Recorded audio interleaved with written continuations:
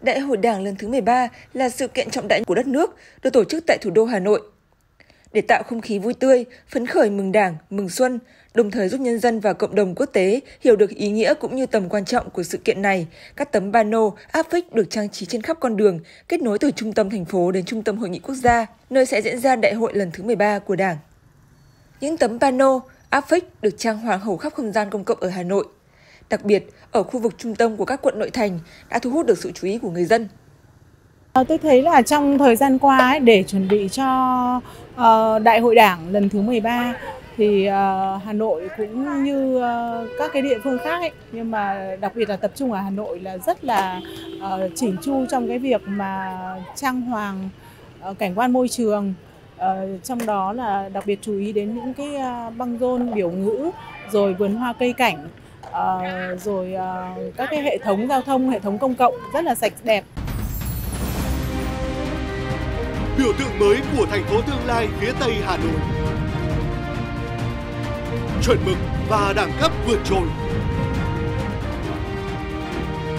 Vị trí trái tim của đại đô thị thông minh đầu tiên tại Việt Nam. Triết lý sống xanh được thực hiện hóa trên từng không gian sống.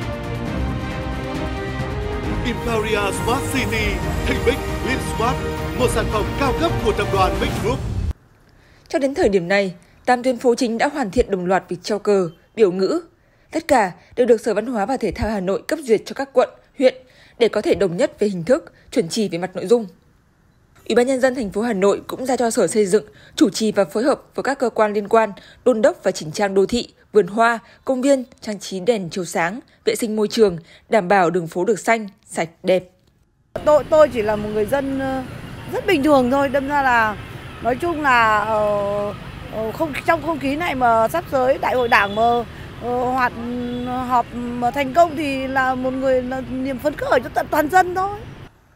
Trước đó, tại hội nghị lần thứ 14 Ban chấp hành Trung ương Đảng khóa 12 họp từ ngày 14 tháng 12 năm 2020 đến ngày 18 tháng 12 năm 2020, Ban chấp hành Trung ương Đảng quyết định triệu tập Đại hội đại biểu toàn quốc lần thứ 14 của Đảng từ ngày 25 tháng 1 năm 2021 đến ngày 2 tháng 2 năm 2021 tại thủ đô Hà Nội.